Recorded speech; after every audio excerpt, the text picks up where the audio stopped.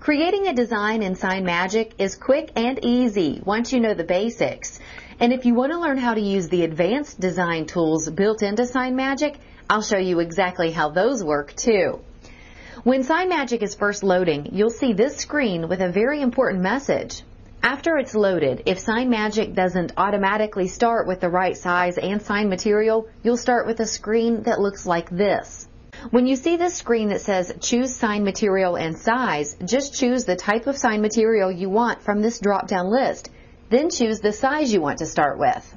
Once you've made those two selections, just click OK. If you need an exact size that's not shown in this list, you can choose one that's close and we'll trim the sign down for you at no extra charge. Or you can click this Live Help button and we'll help you get the exact size you need. Now you're ready to add text. As you'll see in just a moment, adding text to your design is so easy, you might even wonder why I'm showing you how to do it. However, our programmer has just added some extra features to make it even easier for you to get the exact look you want.